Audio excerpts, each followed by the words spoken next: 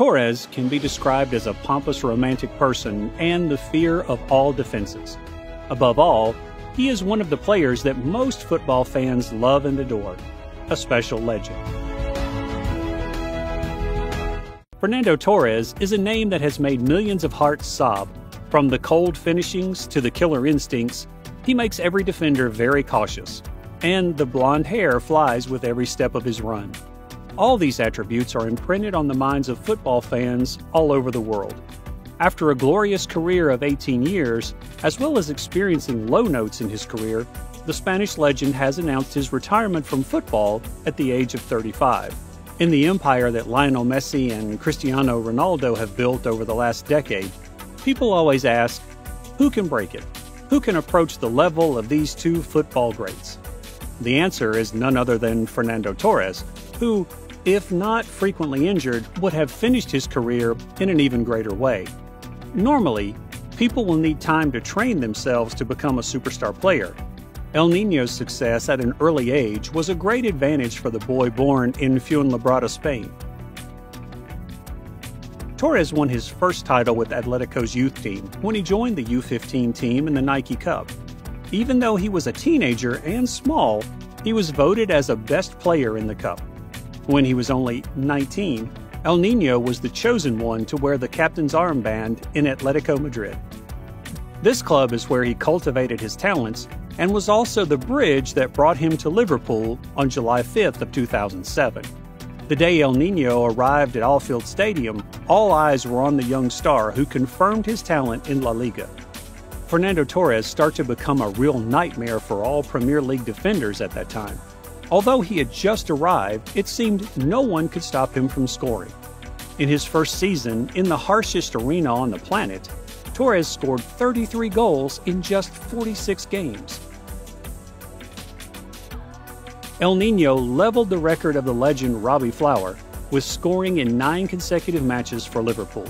In that season, he was only behind Cristiano Ronaldo in terms of scoring people started to talk to each other about an assassin who destroyed many teams, a bloody scorer wearing the red shirt of the Kop. If you want to know about Torres' ability, just ask Nemanja Vidic, the legendary central defender of Manchester United who was once a victim of El Nino. That is a situation which went into football history and the most embarrassing moment of Vidic's career. Man United lost to Liverpool 1 4, and that loss all came from just one name Fernando Torres.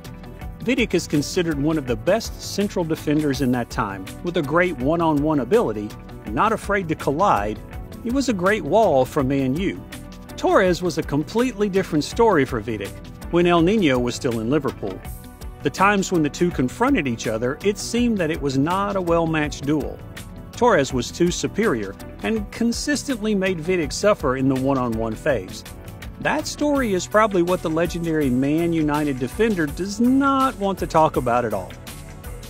During the years he devoted to the Kop, Torres was always the biggest idol for those who loved Liverpool at the time. Despite the title drought, the supporters were not disappointed because they knew the team still has El Nino.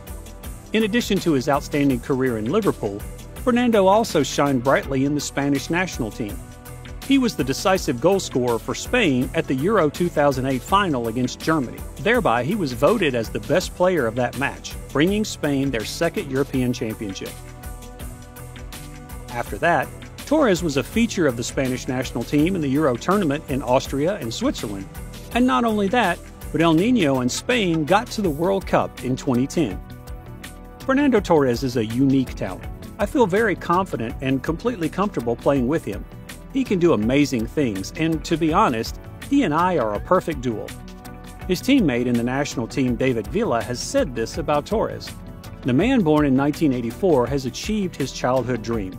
He became an excellent striker, like the Tsubasa character in the comic, a character he admired as a kid, and this Japanese comic book series inspired him. But after the brilliance of his career, the spotlight began to dim for Torres. Since the day he moved to Chelsea, people no longer see Torres as the one who used to be a nightmare of the England defense. He slowly lost his ability in the new shirt color. Perhaps his best quintessence was left in Liverpool as injuries have begun to appear more frequently for Torres. He is no longer himself like in the old days. His scoring performance has plummeted to only two tenths of a goal per game, much less than the six tenths when he was playing for the Kop. The record 50 million pound transfer price became a weight for Torres. In one match, he missed the opportunity to score when he kicked the ball out after he went through the goalkeeper. And since that day, Fernando Torres had to take a long time to appear again in the national team shirt. Coming to Chelsea, Torres has two England championships in 2011 and 2012 and an FA Cup. But these are trophies that Torres could not have had during the peak of his performance at Anfield.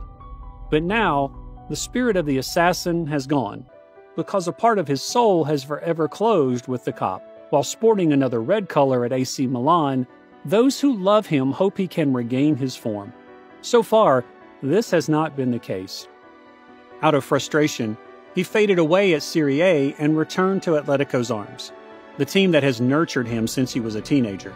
Back to the old house where thousands of fans worshipped him when he was just a 19 year old player, he understood that there was no place like the place he called home. Though he could not play as well as he did in the past, all those in the stands still shouted his name. Perhaps injustice always came to him in different ways. He was injured when he was young, he lost two front teeth, and then gave up the position of goalkeeper.